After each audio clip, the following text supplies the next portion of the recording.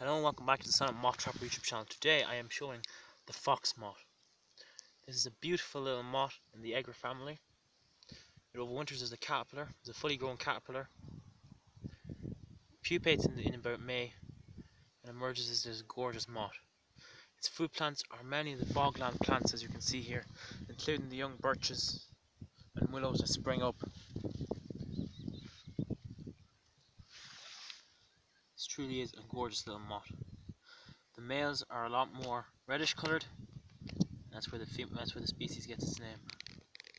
This female here will hopefully start calling, and she will hopefully lure in a male. Bye bye and best luck from the Silent Moth Trapper.